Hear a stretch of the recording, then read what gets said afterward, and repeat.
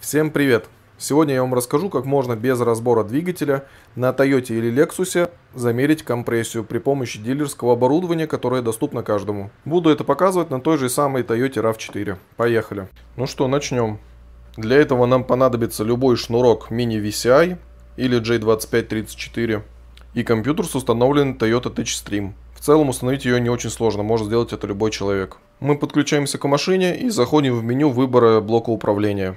Вот эта менюшка как раз таки сейчас перед нами. Переходим в блок Engine, он же двигатель. В меню слева выбираем Active Test. Из всего списка параметров мы должны найти параметр под названием Check the Cylinder Compression. Он чаще всего внизу находится.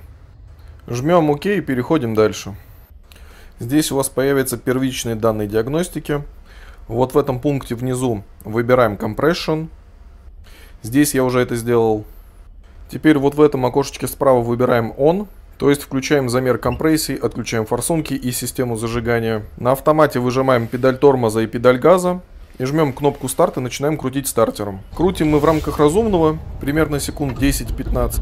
И дальше смотрим в компьютер и смотрим данные. Обязательно не забываем выбрать режим OFF, иначе дальше машина заводиться не будет. Теперь о том, как интерпретировать эти данные. Просто смотрим на количество оборотов и смотрим их разницу между цилиндрами. Если разница там 3-4 оборота, это нормально. Если разница около 15-20 оборотов между самым большим и маленьким значением, то тут уже нужно задуматься. И делать нормальный замер компрессии в сервисе, потому что, скорее всего, проблема есть.